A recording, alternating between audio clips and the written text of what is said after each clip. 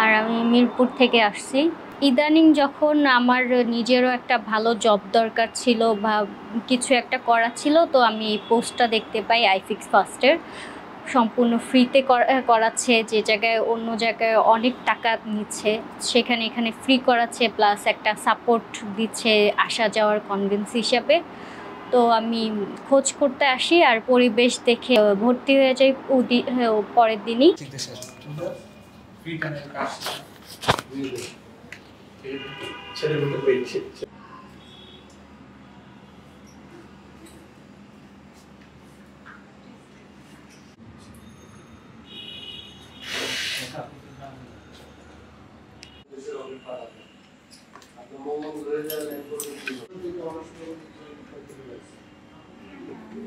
আসলে সেক্টরটা নতুন, কিন্তু যেহেতু এই সেক্টরে অনেক আগে থেকেই মানুষের অভিজ্ঞতা আছে, মেয়েদের জন্য নতুন হলেও সেক্টরটা ভালো।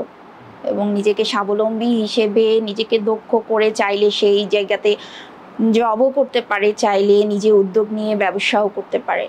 আমি আপুদেরকে এই তথ্যটাই দিতে চাই, আপনারা ঘরে বসে না থেকে নিজে উদ্যোগ নিয়ে নিজে স্বাবলম্বী হন পাশাপাশি পরিবারকেও সাপোর্ট দেন।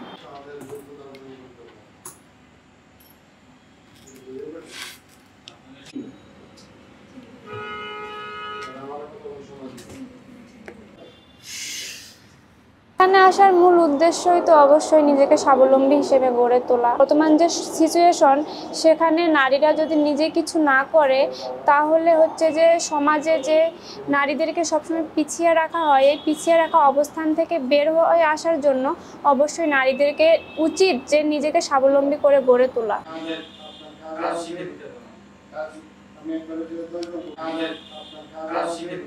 বিশাল ভিন্ন ধর্মের চিন্তাটা আসছে হচ্ছে কাস্টম আমার একটা এক্সপিরিয়েন্স বলি।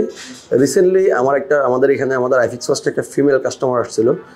তো উনি বলল আর কি যে ওনার মোবাইলে কিছু ডাটা মনে হয়েছে আমার মেল টেকনিশিয়ান মনে হয় মেবি দেখছে মানে ডাটা গ্যালারিতে তো। ওইখান থেকে উনি বলল যে ওনার বিষয়টা সিকিউর না ওনার ডাটা আছে সিকিউর না, এখন সেক্ষেত্রে কী করা যায়? এখন একটা ফিমেল টেকনিশিয়ান যদি থাকতো, অথবা যদি কোনো ফিমেল আমাদের এক্সিকিউটিভ থাক মানে এক্সিকিউটিভ যদি থাকতো, তাহলে আমরা বিষয়টাকে বুঝাতে পারতাম, ওনার সাথে ডিসকাস করতে পারতাম ওনার বিষয়টাকে নিয়ে। তো ওনার ওইখান থেকে আমার ধারণা যদি আমাদের একটা ফিমেল থাকতো, অথবা এই সেক্টরে তো ফিমেল টেকনিশিয়ান নাই বললে চলে। আমি চিন্তা করলাম, আমরা কিছু ফিমেল টেকনিশিয়ান নিয়োগ করি।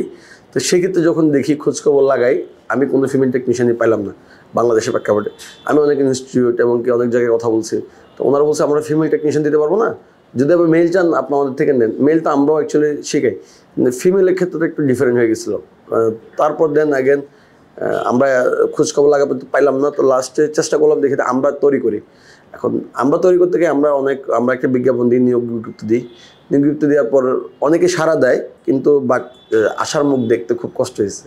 দেন আমাদের প্রায় এক হাজার মতো নাম্বারে কন্ট্যাক্ট করার পর দেন আমাদের দশ থেকে বিশ জন অ্যাকচুয়ালি স্টুডেন্ট জয়েন করছে। তা আমি যদি দশজন বারো জন একটা টিম হয়, তাহলে আমি নিয়ে যে কারিগরি শিক্ষা পড়ে দেন তাদেরকে ক্লাস করে যদি ওরা পরীক্ষাতে পাস করে দেন তারা সার্টিফিকেট পাবে। আর জবের অফার তো আমার এখানে আছেই। আমার এখানে জব করতে ওরা যদি চায়, তারা তাদের কর্মস্থান অথবা তাদের এলাকায় তাদের, তারা নিজেরা স্বাবলম্বী হতে পারে, তাও পারবে। আমাদের প্ল্যান আছে যদি বেশি